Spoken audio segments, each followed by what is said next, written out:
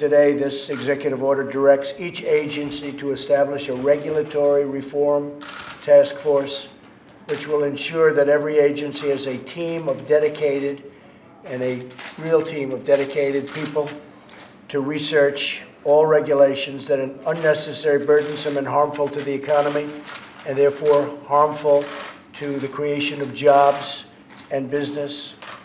Each task force will make recommendations to repeal or simplify existing regulations.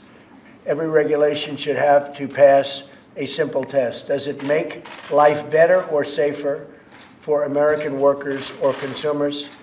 If the answer is no, we will be getting rid of it and getting rid of it quickly. Thank you.